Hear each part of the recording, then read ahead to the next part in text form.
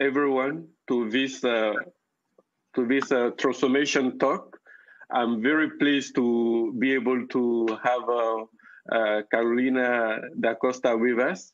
And uh, the topic today really would be about unpacking the transformative power of the three pillars of the corporate sustainability. How, because sometimes we ask, ask our, ourselves one question, how can ESG, and by ESG, I mean environmental, social, and governance, be a pivot for transformative change in organizations? But before I move forward, let me just introduce uh, Carolina. Carolina is a partner at Mauá Asset Management. She helps build new business model to basically support entrepreneurship, ESG, and impact. So she has over 20 years of experience in high growth, non-profit, social, social impact project, as well as organization based on innovative strategic models of action and governance. She served as the vice president at INSPER, INSPER, which is a teaching and research uh, university in Brazil. And uh, she also served as the dean of, of the undergraduate program where she leads the entrepreneurship, she led the entrepreneurship uh, center. Now, of course, to set the stage here, we do hear people talking about ESG, and the question that we could ask ourselves, how might an ESG agenda transform organizations? So before we dive deep, what I would like to do is for us to go through the topic in three stages. First, let us set the ground. Let us set the stage. Let us look at the whole ESG. So, taking all three elements, how can they help transform organization? What is the transformative power of each of the ESG uh, pillars? So this would be the first question for Carolina that should be, I mean, and I want this to be more like a conversation. So she'll be able to actually go through and help us uncover the transformative power of each of the ESG uh, element. Carolina, welcome. Thank you very much, Tahirou, for the invitation. Um, I'd like to compliment the whole audience and say that I'm very honored to be here sharing some thoughts and experience with, uh, with all of you. So this is an important question, Tahirou, especially considering that uh, corporate sustainability is not new to companies. So companies have been engaged in this type of topic for decades.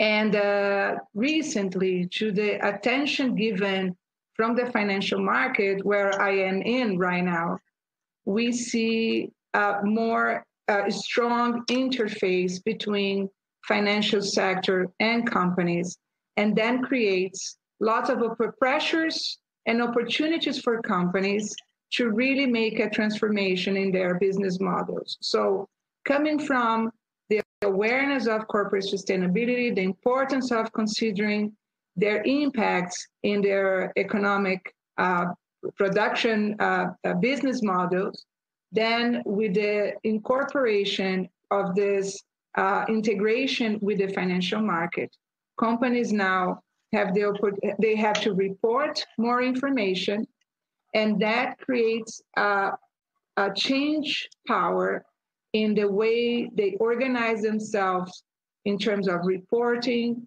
in terms of uh, how they actually going to have the relationship with investors.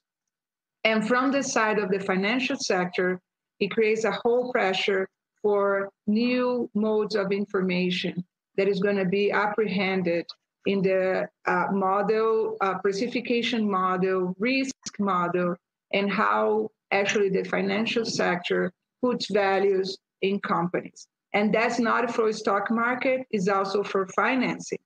And for, from the side of the company, this whole context, and uh, which is more than just awareness, it's a new way to discuss capital allocation, uh, creates for companies several opportunities to actually revise their their their uh, production mode, their business mode, so they follow a transition to a low carbon economy. And that creates opportunities for innovation. That creates opportunities for, for new financial, financial uh, financing modes. Uh, so the whole set of, uh, of issues that we will be able to discuss throughout this conversation. So we have now the very strong participation, at least from the uh, asset managers and banks that are really into the agenda of low, low carbon economy. And they're putting like a, a public uh, uh, uh commitments that they're going to just invest in, uh, in, in, a real economy that is committed with low carbon uh, agenda. So this whole set of uh, new information so creates lots of opportunities for companies to transform and to really take advantage of this movement to new for innovation, for transformation, and so forth. Thank you, Carolina. And then if we can dive a little bit uh, deeper now, uh, taking environmental, or maybe taking social, and taking governance. On each of these three, what is happening? What are organizations doing? And what is pushing organizations to transform? So let's start maybe on the environmental front. What is happening? What is creating that need to transform? So it's a, it's a, it's a, it's a good way to organize the, the thinking at Tahirou. So from the side of environmental, uh, when the financial sector starts to require reporting on carbon footprint and all other risks associated, associated to climate, companies have, first of all, to make a strong effort to increase and transform their reporting system. So, especially for investors who have a strong or a significant share of the business, they will have, companies will have to make a strong case for reporting that is very clear and objective in terms of carbon footprint, in terms of risks that is not on climate, but also the S, the social risks, that is very tied to reputation and branding and uh, their like a mission in the society. So it's not just a marketing thing, uh, is much more than that. So it's a whole issue of how they're going to be perceived by their employees, by their clients, by their by their suppliers, so by, by the whole ecosystem. So uh, the, the, this new requirement that financial sector imposes to companies, especially those who have a strong share of the business, makes company uh, makes makes companies more pressured to improve reporting system, and also that is actually coupled with risk assessment and opportunity assessment. So why is that? Uh, why is everybody's concerned with that right now? well, we are living the, the, the this like a global tragedy, which is COVID, that actually exposed that risk assessment is a is a huge issue that has to be much more addressed and accounted for by who actually evaluate businesses. And talking about uh, climate change uh, and the, need the countries and governments will have to put like a, to put a, a limit in carbon footprint. So lots of sectors will be impacted by a possible regulation in the carbon market. It's going to put a price on this type of externalities. So the whole the whole point from the economic view is the price of externalities. The governments will more and more make that to be part of the company's balance sheet. And when that becomes part of their balance sheet, uh, they have to actually uh, make the case for cost of capital. So reporting is the starting point of the whole E thing. And reporting has everything to do with improvement of risk assessment, with improvement of long-term view of externalities, and the changes in market regulation that can put a cost, a very strong cost, in the cost of capital when the companies will look for access to capital for financing their operations and their investments. So uh, that creates a cascade effect that makes company, if they wanted to do adequate risk assessment, if they wanted to incorporate that view of long-term impact and externalities in order to change their business, that creates a whole uh, chain reaction that makes companies have to rethink their governance, that makes companies to rethink innovation, they have companies to rethink access to capital. Uh, and I would say the same for S. So the same mental model that companies are using for E, they have to use for S because S is like all the social impacts. And very rarely environmental issues are only environmental. They are also social because they create like uh, constraints in communities that creates uh, uh, impacts in employees, in, in, the, in the suppliers, in the, in the whole ecosystem the company is embedded in. So uh, when you look at the like this systemic view of risk assessment that not only looks at environmental but also the intrinsics of the environmental uh, uh, as, uh, aspects with the social that uh, actually put a very relevant pressure on how to improve governance, which is, which is the G of the equation. Thank you, yeah, thank you. And, and and of course, you know, when when you see uh, an acronym with three, four letters, of, I mean, in this case, three, sometimes people ask, which one is the most difficult to put in place? Is it the environmental side? Is it the social? Is it the governance within the, the organization? Which one do you see organizations struggle the most with these days? I think it is a it is a question that is very it's very debatable, and uh, like uh, um, I don't want it to sound like certain of the of my answer because this is those are the type of things that people do discuss uh, but I'd like always to look at the ESG as an equation model in which you have variables that are uh, within uh, more control than others. Uh, of course, uh, you as a company has to, to do your mission to mitigate environmental and social externalities, but not only mitigate, but to transform, to create prosperity.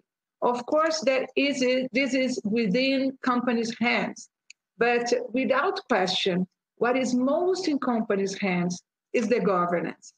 And uh, for companies to change their mindset, like the corporate mindset, this is a whole issue of how leadership organizes and changes the the culture, how actually uh, organizes the, the role of the board, how it organizes the committees that we're going to assist and is going to have the participation of the, the all the stakeholders. So it has to to to carry a stakeholder view um, and you also have the importance of walk the talk so you have to look at compensation you have to look at how you actually uh, walk the talk in terms of the culture you wanted to create so i would say very humble here. It's like uh, like my opinion based in, in everything I observe, uh, especially with my hat of uh, professor, like like uh, helping to form boards and C-level of companies. Uh, the governance is something that is the beginning of everything. So how the company is really gonna to change the functions of their executives to incorporate this whole view of prosperity. So it's a change in the mental model. And I don't want it to sound philosophical because this is a very pragmatic thing. So when the like the main uh, executive search firms in the world are redefining the roles of the C level to actually rephrase, like re- revisit the role of the CFO, the role of a possibly a chief sustainability officer, the, of the CEO, and especially of the boards. So boards have to take the, the lead on uh, make this the companies to have a different way to look their impact and and also with a view of long long term. So what, what like the boards can have that look, and this is the look that uh, investors, uh, uh, institutional investors have. So boards can definitely be, and for me, this is the G, this is the governance, uh, this is the beginning of the, the whole transformation. Thank you so much. I prefer to think that, uh, Tahirou, then I could make a case that no, the change is going to come from the pressure of the environment. So that is going to look at companies and, and see them as too reactive. What I believe they can be very proactive because the proactivity uh, is going to make them capture much more value. It's like the first mover advantage that we all know from strategy. So companies that wait just to react, we're not going to be able to capture the value of ESG transformation and ESG value creation. Thank you, Carolina. And this is quite insightful. I mean, I've been sometime doing some um, some uh, maturity assessment, uh, capacity assessment, and uh, usually we look at one pillar that is called governance. And we tend to see that whenever the governance is good, sometimes all the other parts tend to take care of themselves or tend to be kind of uh, um, uh, taken seriously. But when the governance is not working, then it seems like the whole thing is unstable. Uh, and then getting to move or getting to get the different pieces aligned becomes a, a challenge.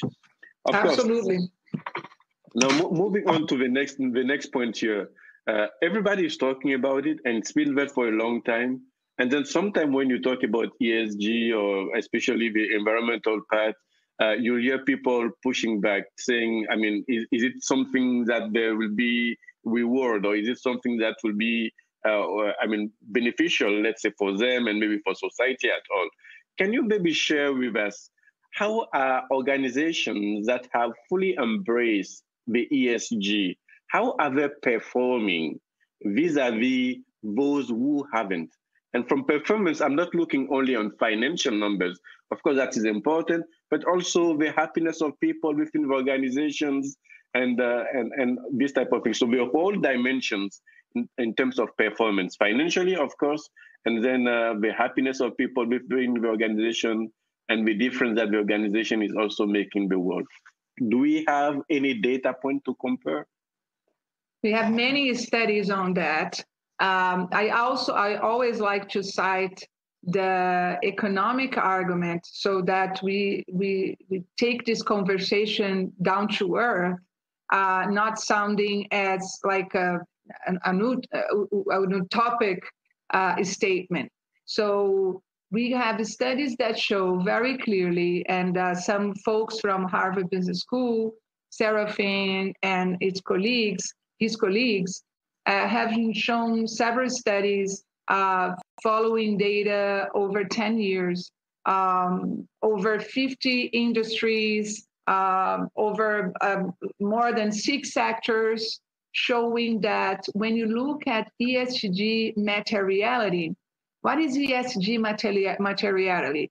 Are elements of that industry that make it make that that industry perform well in terms of uh, results. Not so, talking about only financial results on being like the leader in the sector to be like an industry that is seen by the customers as producing value. So this is esg materiality. It's like these elements that makes companies excel in their activity. So when you take those elements and you look at the financial results in the financial market, you see clearly companies performing 6 to 10 2% to 6% alpha in the financial market. And I'm looking at a very long uh, series of data, looking at 10 years most. So this is definitely something that has been shown and proved. But I don't want to only look at the financial results. We haven't seen, Tahirou, and I think the pandemics make that much stronger. That people don't wanna uh, like. There's less is room for fragmentation between personal life and work life. So I'm here with you in this home like home office conversation and sometimes i see your kid running behind you and uh, so the lines between private and public life is becoming is becoming less and less uh, visible. So people don't want to have like personal statements that are very different from their corporate statements.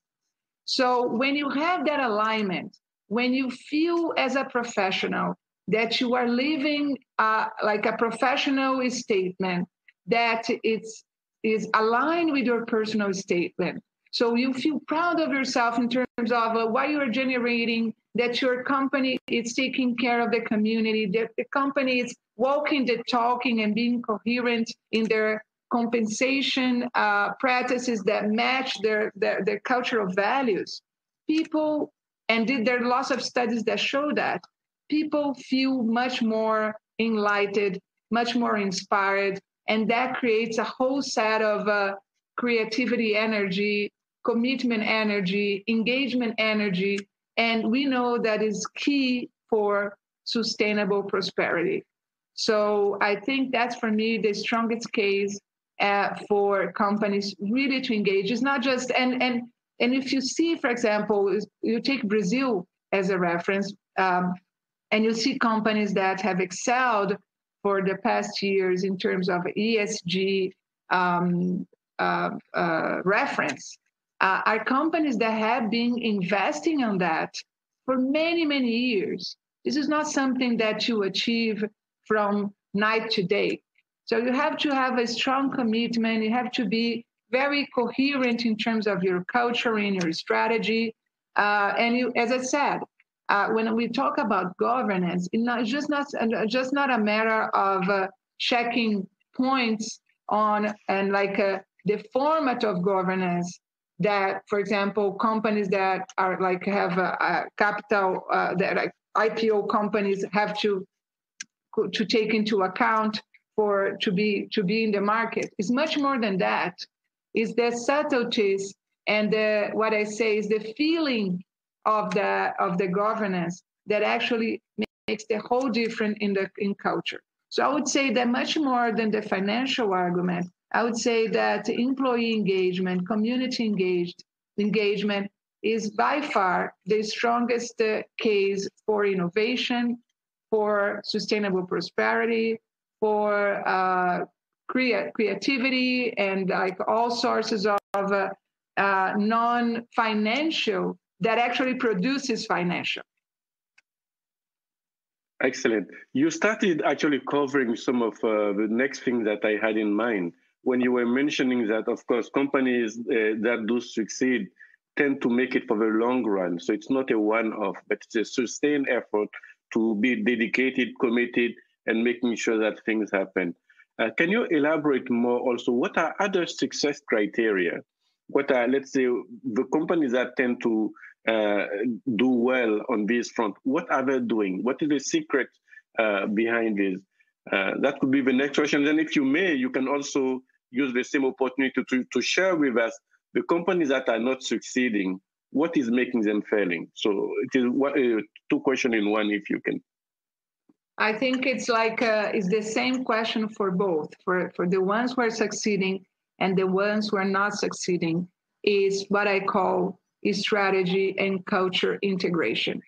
So companies who are looking at ESG merely as um, marketing strategy or a, just a communication a communication um, uh, set of ideas that to put in the sustainability report are not being consistent in their practices and actually make it worse because everybody is looking at it. So when you see companies going public saying, "Oh, I'm going to actually to reduce carbon footprint in X percent or 100 percent by 2030 or 2050," uh, so they're making a public statement. So they're going to be charged for that. So people are going to be looking for them uh, in terms of whether they're going to deliver that or not. So if you're not actually saying um, like with a true commitment with your strategy in your governance model, it's going to make it much worse for you. It would be better not saying anything. Uh, because actually that is going to show that you're only using that as a marketing strategy. So the main component component for success is the true commitment of long-term strategy for transition to low carbon economy. And this is not my point of view. This is in the Larry Fink letter that he publishes every year. So this year in particular, uh, the letter makes a strong statement for transition economy. So it's a how companies are going to actually showing uh, a, very very clear and, uh, and, and straightforward commitment for this transition. So they want to look at your, their, their, their uh, financial results. They wanted to look at how they are actually committing themselves to investments. They wanted to look to compensation. They wanted to look to diversity. So more and more investors are looking for very objective data. It's not just a thought or an intention. So companies that are not actually truly committed and that is not actually shown in their long-term strategy, they're not going to succeed, and they're going to actually do more harm than good to themselves because it's going to very it's going to very clear to the audience that they're just doing like greenwashing. Uh, so for me, it's a very straightforward uh, answer, Tahirou. It has to be for real, and uh, investors are looking at capex. They wanted to look at the compensation. They wanted to look to diversity ratings. They wanted to look um, of uh, like uh, innovation. So what companies are doing to make the transition, and it's not is not uh, doesn't surprise why the letter from the investor starts with like dear CEO because uh, it's looking at the leadership of the company, asking that leadership of the company to show in a very straightforward, objective terms what are the commitments and how that is linked to the strategy and to talent attraction, to talent compensation, and so forth. So it has a whole coherence system that is going to be checked out. Excellent. Thank you. Now, now, now let, let look at it because, of course, when you mention it's the long term piece, many organizations maybe haven't necessarily embraced it or they haven't necessarily started the journey. So if you are in a, you are an organization that say, okay, today I want to make it front and center. I want to give it uh, the, the, the attention required, but not just for a communication matters, not just for paying lip service, but because you strongly believe in it, and because you are also aligning your the employees within the organization around it. The question that may come here is, how do they start? What, what, what, what will be the first step?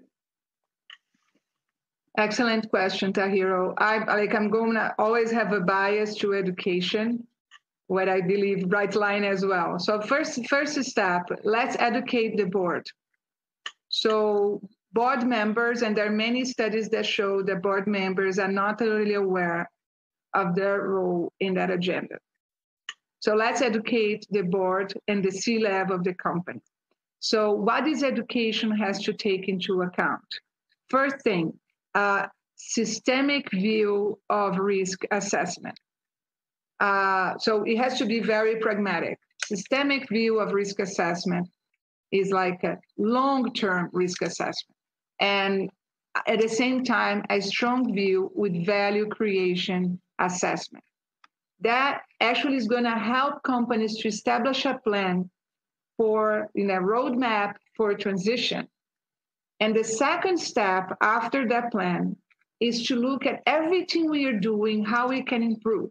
So I'm going to give you a bit of example here. Let's talk about the supply chain system. So there are lots of systems in place that talks about supply chain finance, how to actually invest in our supply system in order to provide uh, the type of raw material and the services I need. So, can I improve that? Is there a room for sustainable supply chain finance? Of course, there is. And that is a market that actually it's expected to grow and to be one like uh, almost 20% a year until 2027. Uh, and uh, just the sustainable piece of that can be one third of highly secured receivables. So there's a huge market to rethink the way I do supply chain finance. I can incorporate uh, KPIs, I can incorporate another way to finance with the things I already do.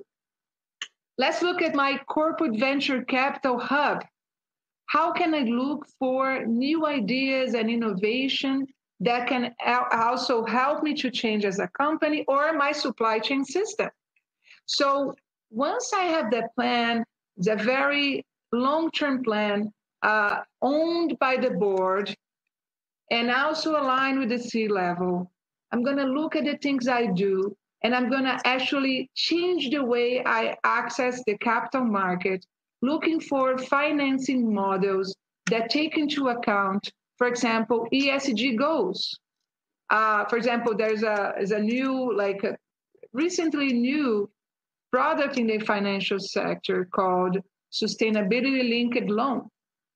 Those type of loans are based on ESG targets. So the more I attain them, I can reduce the cost of my capital, the cost of my uh, attracting the, the, that capital. So I have an incentive.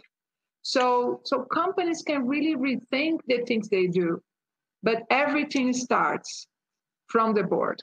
I like very much a literature on enacting purpose initiative by uh, is, is led by Oxford University and other uh, other universities in the United States, and it shows the importance of the board to own the ESG statement and help the company to construct a long-term view of the transition.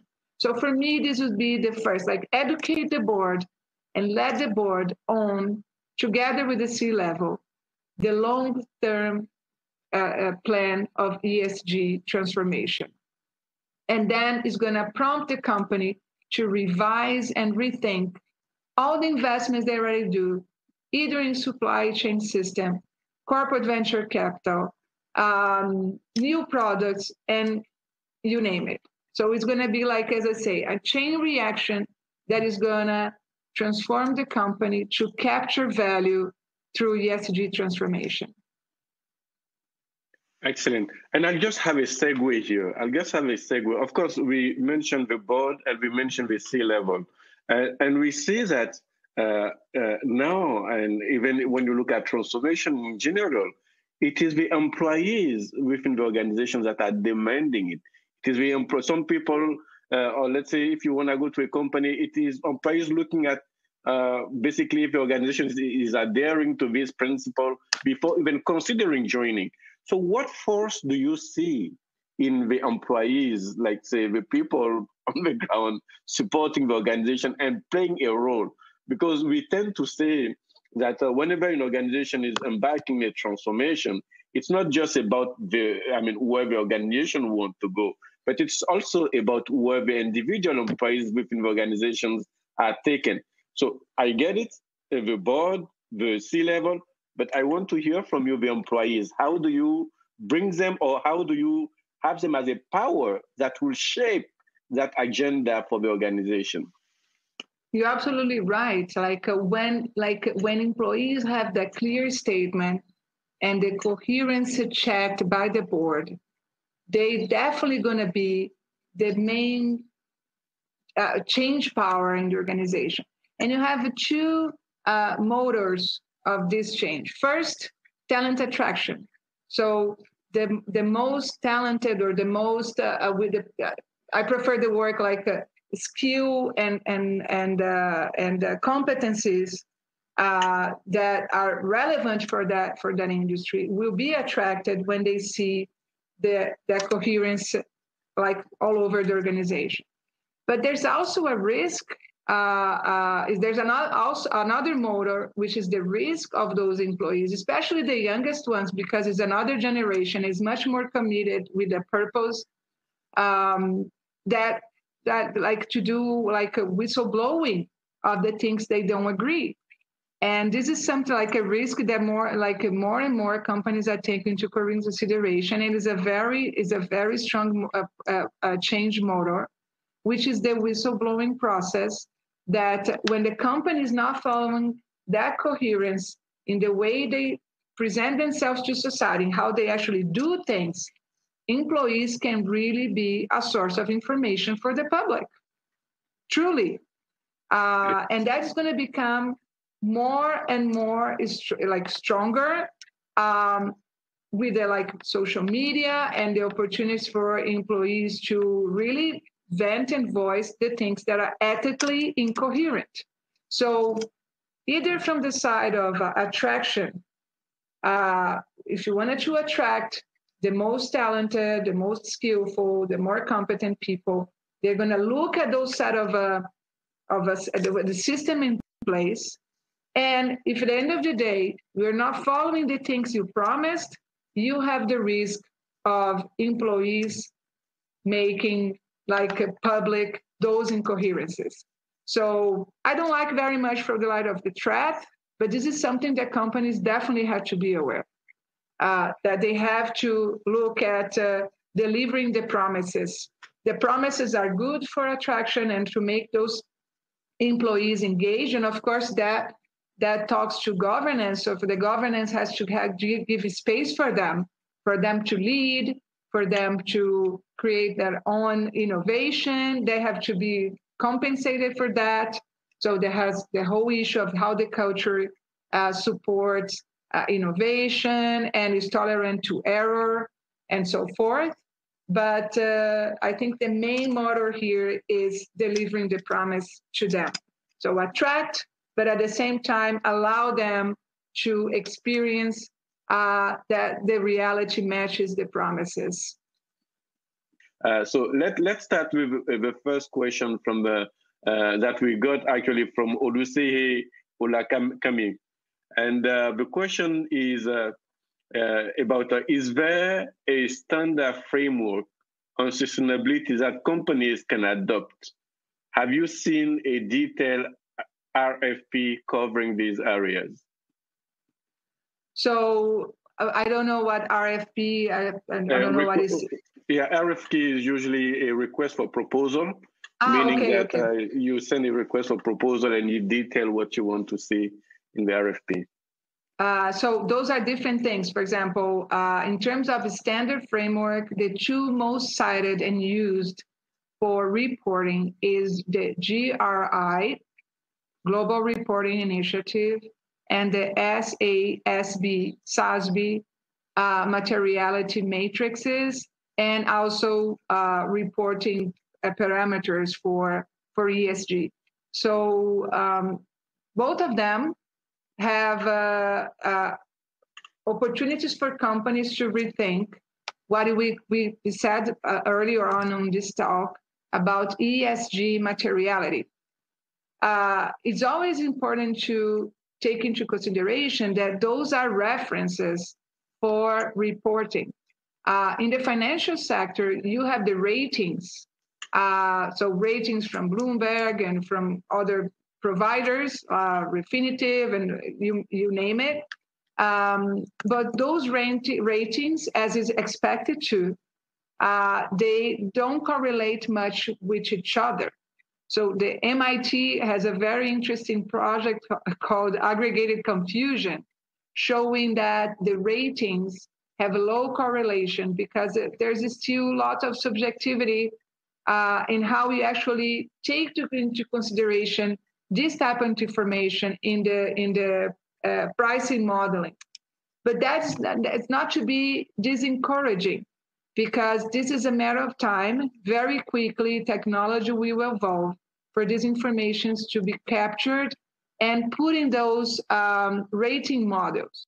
So for companies to begin with, a good starting point is either uh, and also uh, like there, there like there's some some special um, references depending on the sector. For example, for banks, there's there's the TCFD, but particularly for the corporate world, either GRE or SASB are a good reference model for to start the conversation. Of course, uh, consulting companies, and there are consulting companies that are doing a very relevant work, can also be partners for this type of assessment and allow companies to make uh, a good, um, um, uh, how would I say, customize the look at their uh, at their activity and how that produces impact. So it's good to have a reference, like a global reference, so companies can have something comparable to other companies. So otherwise, they're going to look only at themselves and they're not going to have produced something comparable. Um, wonderful. Uh, yeah, wonderful, Carolina. Yeah, oh, go ahead if you still have, because I was going to move to the next question as well. Uh, um, go ahead. I, I uh, the next question is from Shuan Sadregazi, and uh, he's saying why there is so much hot air and uh, lip service around the ESG's initiative. Of course, you mentioned that uh, companies that don't use it or that uh, pay the lip service to it uh, would not be successful. Actually, it could be even worse. But irrespective of that, why, as he's asking or she's asking, why why uh, a company paying that lip service? Because the fin- it's as simple as that. Because the financial market is already putting a pricing on that you can tell we can have a huge debate on whether this pricing is correct, it's over, it's under, like uh, it's not the, the, the point here. But by the time the financial sector starts putting a pricing on that, everybody wants to capture that, either making my stock market, my stock value increase or have the perception of uh, increase, or in the way I access capital for financing. Uh, so there's a now an expression called, called greenium that some companies that have like green projects can capture capital in the market at a lower price than whether they didn't have any project related to that. Uh, for, I think this is something is a word of caution here. Uh, if, by the time the financial sector sector starts to put a price and compensate companies that have green or ESG projects more uh, coherent to that. Of course, companies will hush into, look how beautiful I am as well. Uh, but at the end of the day, the financial market is becoming more and more skillful in capture those information because they are aware of the the like a side effect that is not desirable of the greenwashing. So let me look myself on prettier so that I can have access to this to this cheap resources or to this more valuation, that favorable valuation of the stock market, uh, so that I can capture value. But this is not a, a, a real value capturing. This is just a, is a, is a, is a short-term um, impression that soon the financial market will correct. Excellent. We'll take uh, one next question before uh, moving to the clo- closing remarks. And that one is coming from uh, Sargas Shafi. And uh, the question is are you seeing technology playing a role in helping to support these goals and initiatives? Of course, uh, I mean, beside the ESG, one thing that you hear a lot is digital transformations, and we got a lot of technology that is coming in. So, what role could technology play uh, to help? Uh... It's huge. Yeah, I'm glad for this question. The World Economic Forum establishes that uh, for the transition to low carbon economy and either for good because i wanted to live in a world that it has it produces less impact uh, either social environment or whether i do that for pain because i don't want to suffer taxation for that. Uh, the world economic forum established that 80% 80% depends on new technology to be invented and accelerated to change the production systems in place. So that's the reason we have to talk about transition and not something that you're going to change from night to day, uh, because it requires uh, financing of these technologies. It, it requires long term planning for companies to adjust and revise the production system. So 80% uh, is what the World Economic Forum predicts the importance of new technologies for the transition uh, to a low carbon economy. So it's huge. It's a huge component of this equation. Excellent. So, I mean, digital transformation, ESG, you put them together, and then you have a nice uh, way of uh, delivering result and uh, changing. And things. I can like to that question, Tahir. I don't know if you still have time. I would love to present like a a, a very synthetic model of value capturing uh, of the ESG. I don't know if you have time. Okay, it's Maybe a good you, timing.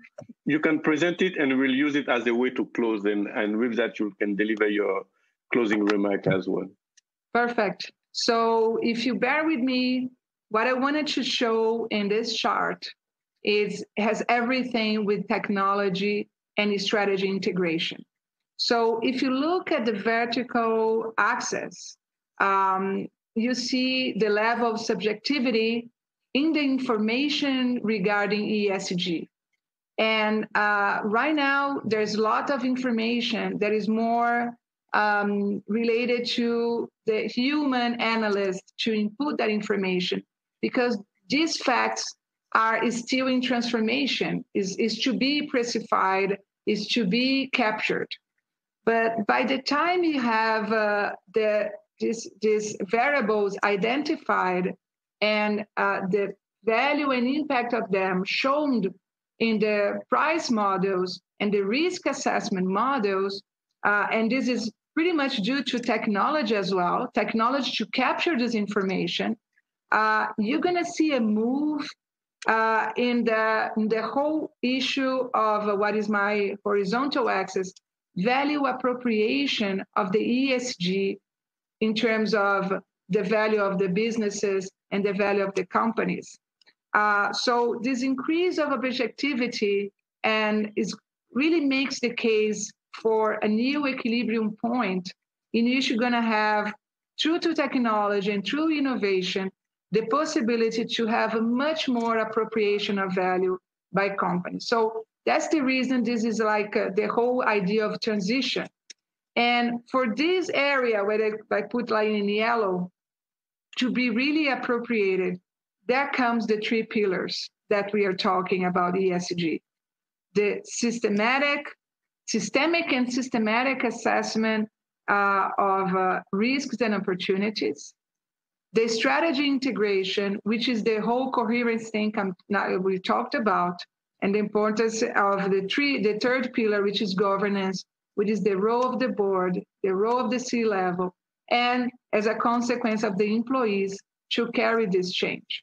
So it's very important to make that point clear that many people say, oh, because information is too subjective, companies will actually appropriate that to do a, a bit of greenwashing and take advantage, and this is going to be just a fashion. Not true because technology itself is going to generate much more data for that to be included in the models that are going to put a price and a cost in either ESG or non ESG practices. And when that becomes a reality and is becoming a reality soon, companies that are in the right side of the equation value, we're going to capture value much more strongly. So that's the point I wanted to actually to show, to synthesize the importance of uh, look at a long-term systemic model of value of value creation. Um, so I think that that will be my final remarks to make the points more clear. I hope more clear based on the conversation. Nice conversation we had, Tahirou. Thank you so much, uh, Carolina. And I would like to thank everyone who joined us for this uh, session and thanking also Yavnika for putting it together. This is our transformation talk, and we'll be looking to come back uh, more and more with these nice uh, discussions and covering insight that will be useful to help organizations transforming and being successful in uh, in this transformation. So uh, I, I, am very pleased that we had that talk here, and uh, I'll say again, we can do good, and then we can do well as well. So uh, until then, uh, thank you everyone, and then we look forward uh, to have you in another transformation talk brought to you by Brightline. Take care. Thank you very Bye-bye, much. Tahirou, Nika, everybody. It was a pleasure to be here with you. Thank you. Really appreciate it.